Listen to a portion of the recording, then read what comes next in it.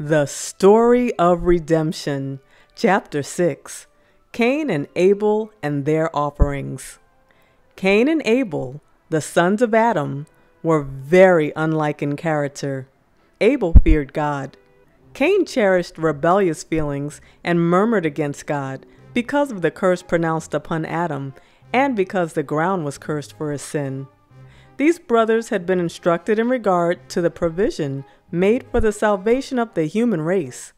They were required to carry out a system of humble obedience, showing their reverence for God and their faith and dependence upon the promised Redeemer by slaying the firstlings of the flock and solemnly presenting them with the blood as a burnt offering to God. This sacrifice would lead them to continually keep in mind their sin and the Redeemer to come, who was to be the great sacrifice for man. Cain brought his offering unto the Lord with murmuring and infidelity in his heart in regard to the promised sacrifice. He was unwilling to strictly follow the plan of obedience and procure a lamb and offer it with the fruit of the ground. He merely took of the ground and disregarded the requirement of God. God had made known to Adam that without shedding of blood there could be no remission of sin. Cain was not particular to bring even the best of the fruits. Abel advised his brother not to come before the Lord without the blood of sacrifice. Cain, being the eldest, would not listen to his brother. He despised his counsel, and with doubt and murmuring in regard to the necessity of the ceremonial offerings, he presented his offering. But God did not accept it. Abel brought up the firstlings of his flock and of the fat, as God had commanded, and in full faith of the Messiah to come, and with humble reverence, he presented the offering. God had respect unto his offering. A light flashes from heaven and consumes the offering of Abel. Cain sees no manifestation that his is accepted. He is angry with the Lord and with his brother.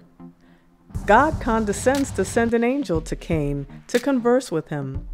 The angel inquires of him the reason of his anger and informs him that if he does well and follows the directions God has given, he will accept him and respect his offering.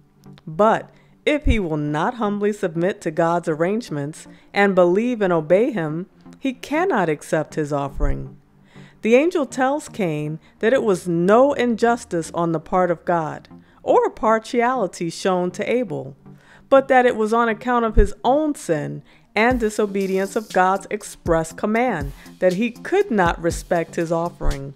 And if he would do well, he would be accepted of God. And his brother should listen to him, and he should take the lead, because he was the eldest. But even after being thus faithfully instructed, Cain did not repent. Instead of censoring and abhorring himself for his unbelief, he still complains of the injustice and partiality of God. And in his jealousy and hatred, he contends with Abel and reproaches him. Abel meekly points out his brother's error and shows him that the wrong is in himself. But Cain hates his brother from the moment that God manifests to him the tokens of his acceptance. His brother Abel seeks to appease his wrath by contending for the compassion of God in saving the lives of their parents, when he might have brought upon them immediate death. He tells Cain that God loves them, or he would not have given his son, innocent and holy, to suffer the wrath which man, by his disobedience, deserves to suffer. The beginnings of death. While Abel justifies the plan of God, Cain becomes enraged, and his anger increases and burns against Abel until in his rage he slays him. God inquires of Cain for his brother, and Cain utters a guilty falsehood. I know not. Am I my brother's keeper? God informs Cain that he knew in regard to his sin, that he was acquainted with his every act and even the thoughts of his heart, and says to him, Thy brother's blood crieth unto me from the ground. And now art thou cursed from the earth, which hath opened her mouth to receive thy brother's blood from thy hand.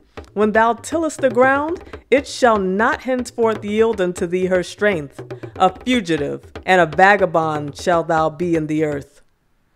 The curse upon the ground at first had been felt but lightly, but now a double curse rested upon it. Cain and Abel represent the two classes the righteous and the wicked, the believers and unbelievers, which should exist from the fall of man to the second coming of Christ. Cain slaying his brother Abel represents the wicked who will be envious of the righteous and will hate them because they are better than themselves.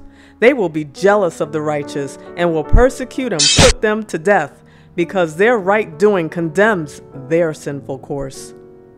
Adam's life was one of sorrow, humility, and continual repentance. As he taught his children and grandchildren the fear of the Lord, he was often bitterly reproached for his sin, which resulted in so much misery upon his posterity. When he left the beautiful Eden, the thought that he must die thrilled him with horror. He looked upon death as a dreadful calamity.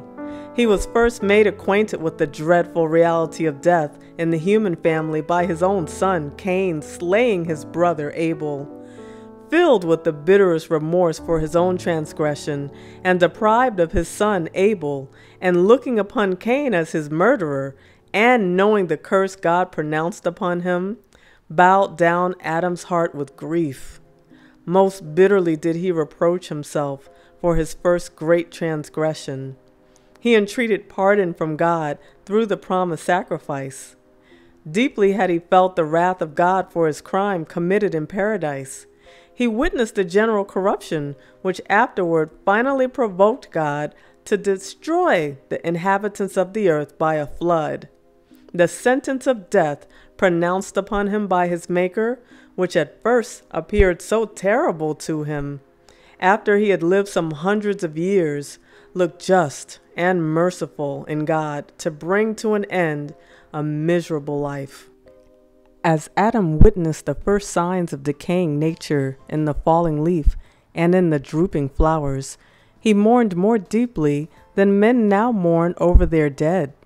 The drooping flowers were not so deep a cause of grief, because more tender and delicate, but the tall, noble, sturdy trees to cast off their leaves, to decay, presented before him the general dissolution of beautiful nature which God had created for the special benefit of man.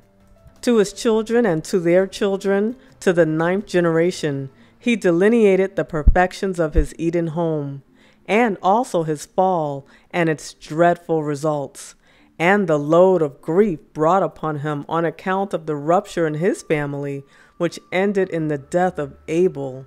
He related to them the sufferings God had brought him through to teach him the necessity of strictly adhering to his law.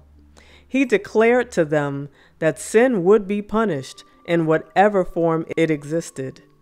He entreated them to obey God, who would deal mercifully with them if they should love and fear him.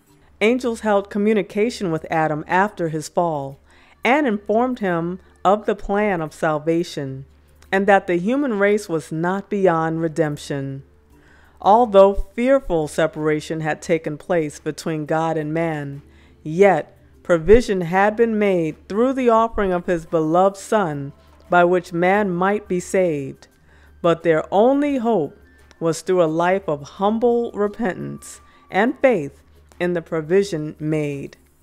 All those who could thus accept Christ as their only Savior should be again brought into favor with God through the merits of His Son.